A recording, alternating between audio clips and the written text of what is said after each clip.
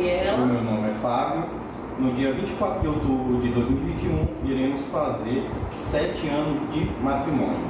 A nossa história de amor e devoção por Maria aconteceu logo desde o começo do nosso casamento.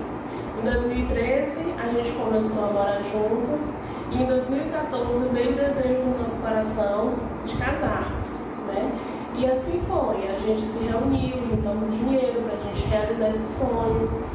Quando foi, é, já estava tudo organizado, quando foi em cerca de julho, assim, o nosso casamento era marcado para outubro, e as coisas começaram a perrear e a gente não tinha mais condições de quitar o nosso casamento. A gente ficou no estado mesmo de desespero por não saber mais de onde tirar renda para quitar o nosso casamento. Meu esposo saiu para trabalhar no dia dos namorados. Quando ele voltou para casa, ele voltou triste.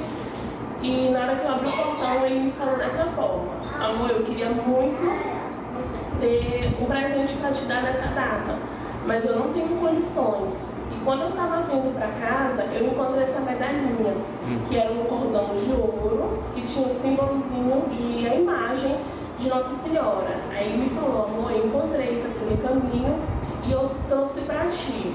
E assim, desde esse dia, o... foi uma bênção que entrou nas nossas vidas, né? Através daquela medalhinha, não me perguntem como, mas a gente conseguiu quitar o nosso casamento as coisas foram fluindo.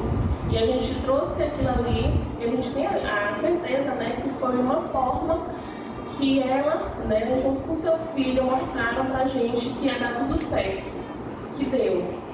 No dia 24 de outubro, né, uma sexta-feira de 2014, aqui no santuário, eu e meu esposo, né, com a honra e a graça de Deus e a bênção de Maria, conseguimos o tão sonhado sacramento do matrimônio.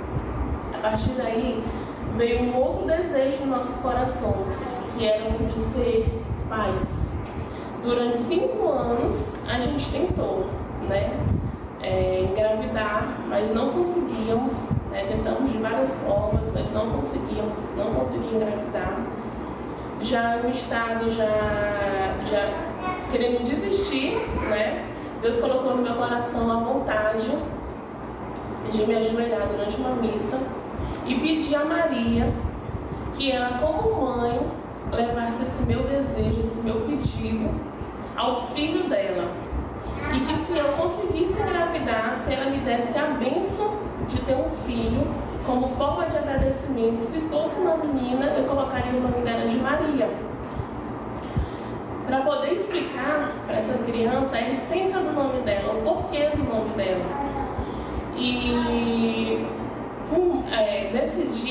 né, a bênção que eu tive era que eu já estava grávida e que eu não sabia.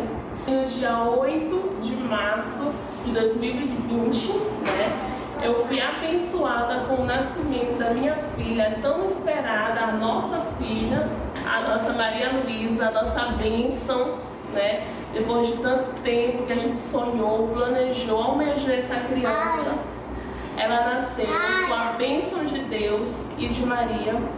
Depois que eu me ajoelhei com toda a fé que eu tinha dentro de mim, clamei para que ela levasse esse meu pedido ao filho dela e ela levou e nasceu a nossa Maria.